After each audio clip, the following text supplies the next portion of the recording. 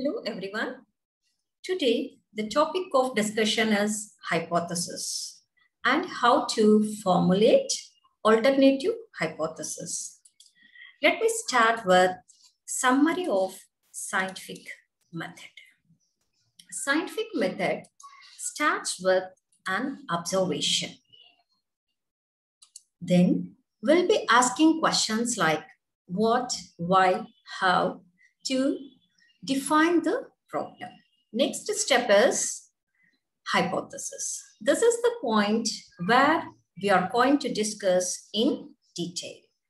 This is followed by conduct of an experiment. Then we'll draw conclusions. Eventually, we'll publish the result. Let us see what is hypothesis. A hypothesis is educated prediction that provide an explanation for observed events. A tentative statement, a testable prediction about what you expect to happen in a study. That means hypothesis is a assumed statement prepared by the researcher to proceed his research. This statement is based on review of literature or past experience of researcher on topic. In any experiment, there are two categories of hypothesis, null hypothesis and alternative hypothesis. Null hypothesis is denoted by H naught. Alternative hypothesis is denoted by H1 or HE. Let us see what is alternative hypothesis and how to formulate alternative hypothesis. The alternative hypothesis is a hypothesis which the researcher tries to prove. It is the opposite of null hypothesis.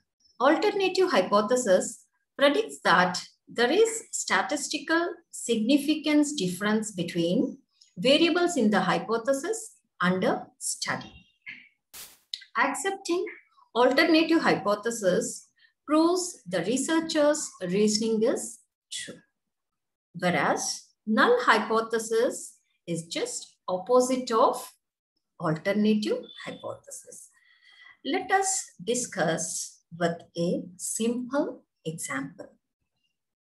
Here, researcher has defined the problem has impact of training, gamification on employee performance as we're all in remote working style, right?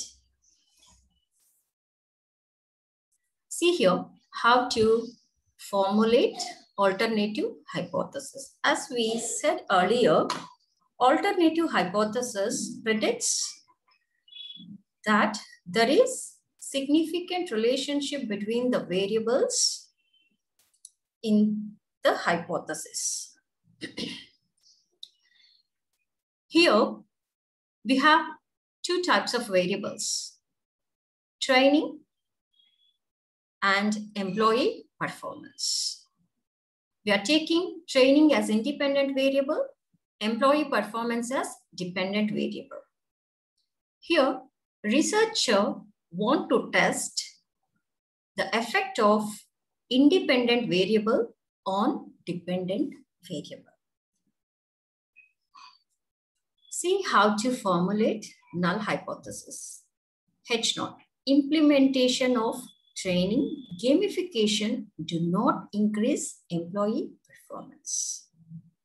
Null hypothesis is just opposite of alternative hypothesis.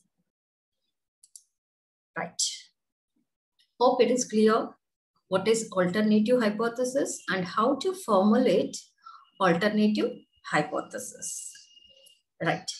Accepting hypothesis, that is alternative or null hypothesis is purely depend on statistical test.